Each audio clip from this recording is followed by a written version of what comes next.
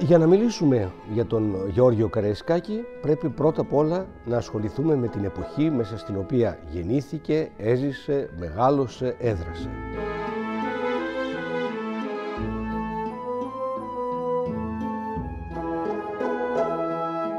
Τον Καραϊσκάκη τον ε, αντιμετώπιζα πάντα ε, σαν ένα μύθο.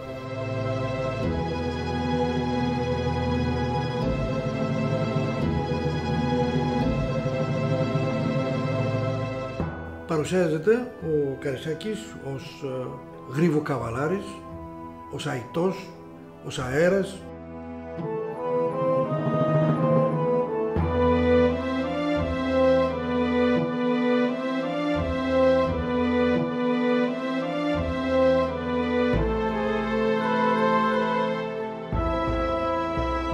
Δεν έκαμε σωστόρα όσο έπρεπε το χρέος σου στην πατρίδα, Καραϊσκάκη.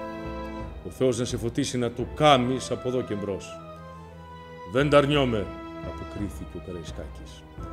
Δεν ταρνιόμαι όταν θέλω γίνομαι άγγελος και όταν θέλω γίνομαι διάβολος.